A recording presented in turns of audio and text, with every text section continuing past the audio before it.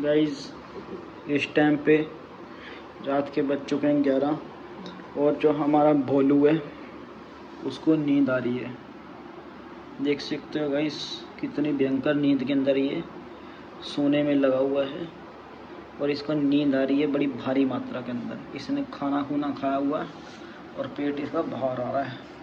पेट बाहर आ रहा है और देखो किस तरह से इसको नींद आ रही है और ये सोने में लगा हुआ। हाँ बेटा? जो नींद आ रही है? नींद आ रही है? नीनी आ रही है?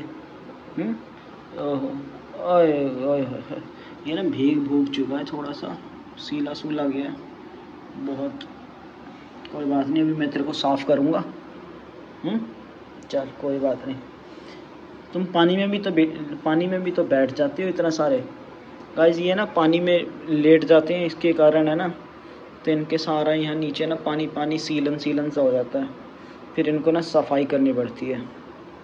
तो दूसरे वाला जो है हमारा, वो कहीं और सो रहा है ये बाहर, अंदर कमरे में तो नहीं सोया, ये बाहर आके सो गया। वो दूसरे वाला दूसरे कमरे में सो रहा है, और इसकी मम्मी भी सो रही है।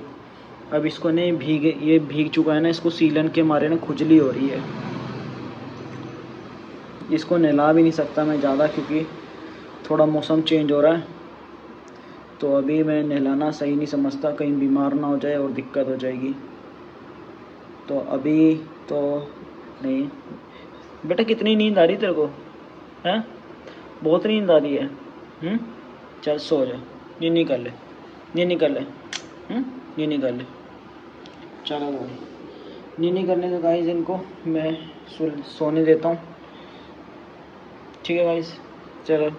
मिलते हैं नेक्स्ट वीडियो में।